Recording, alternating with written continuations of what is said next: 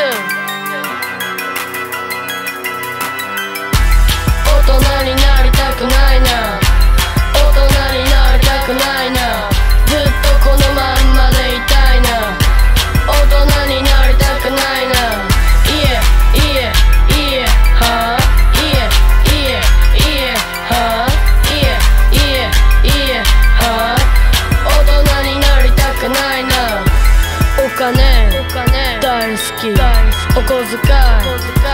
すぎ駄菓子屋でお菓子を買うすぐなくなっちゃうゲームも買いたいバットも買いたいグローブも買いたい野球がやりたい。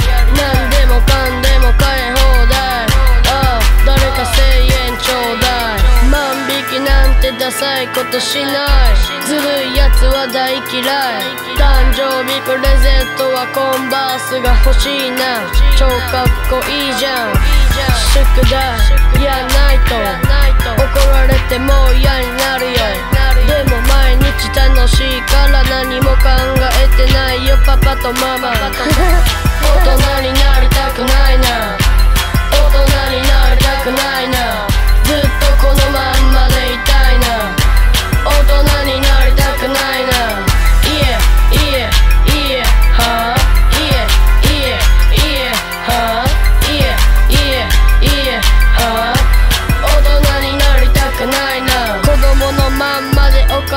金を稼ぐ。鈴木福みたいになれる。芦田愛菜より大島優子。言いたいことなんでも言うよ。ママチャリで冒険。集まるいつもの公園。ドクターペッパー飲んで。チャイム鳴るまで遊んで。昼休みは天下。いつも同じメンバー。たまにしちゃう喧嘩仲直りする。ごめんな。給食をいっぱいおかわり。おいしいな。やっぱり。服は兄ちゃんの